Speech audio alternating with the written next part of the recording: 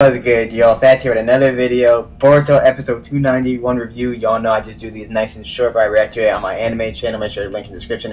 This episode is breaking the internet and absolutely peak. Another peak episode, back to back animation. This was mostly Cold Race Boruto. Kawaki was obviously there. Naruto getting ready to enter the fight stage uh, of PAP 6 mode. Where is Sasuke at? And then at the very end, Momo Momoshiki comes in and takes Boruto's body.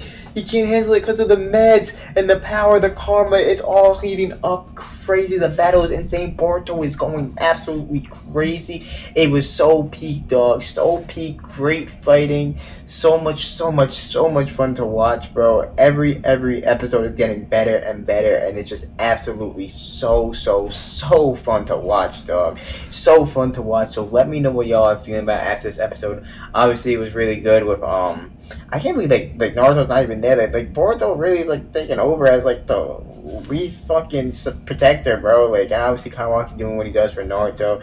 Obviously Code having to do what he's trying to do, and it's just the fighting is so good. The animation is insane. The theme, the plot, everything is hitting right now. Characters, it's all so amazing, bro. So it was an absolutely stellar episode, and next episodes are gonna be crazy. Obviously they announced this week that there's only two more episodes after this one until they go on a huge break. Part one. Some people are saying three months, but some people are saying years. Let me know. You know, hundred percent. Um, I'm kind of upset that it's going away. I love Boruto, and I love watching every week, especially right now. Like right now, like out of the whole time y'all wanted to dip, now you want to dip, bro. Like now you want to dip when it's so fucking peak. But hey, it is what it is. But let me know your thoughts. Another great episode. Can't wait to watch the next one next week. Appreciate y'all.